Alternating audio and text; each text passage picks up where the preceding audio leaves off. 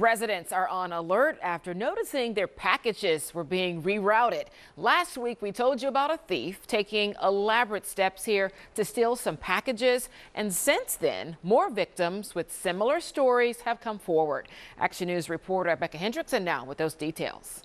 Two more victims have come forward with near identical stories since we reported on the scheme last week.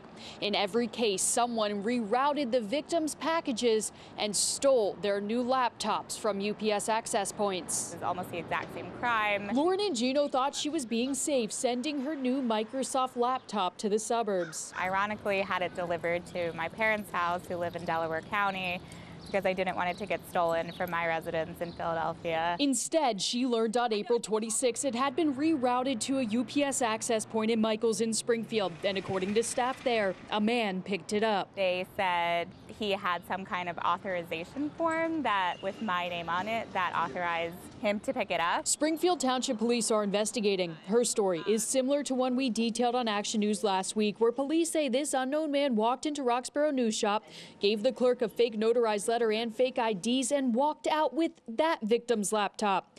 In both cases, the victims say someone opened a UPS My Choice account in their names to reroute the packages and in the weeks prior, both had gotten email alerts there was suspicious activity on their Microsoft accounts.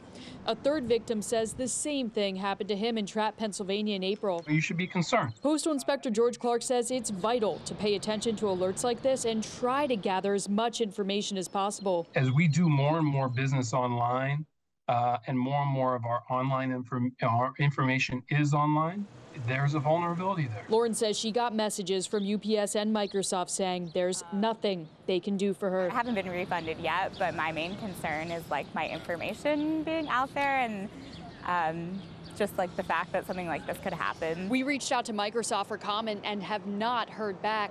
UPS is encouraging any other victims of fraud to give them a call. In Center City, Beccah Hendrickson, Channel 6, Action News.